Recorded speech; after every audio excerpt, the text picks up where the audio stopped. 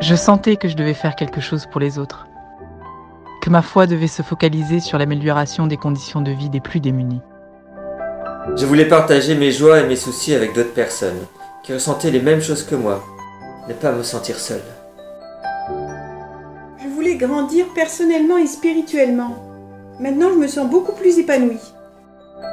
Je sentais que j'avais beaucoup de force et d'énergie en moi.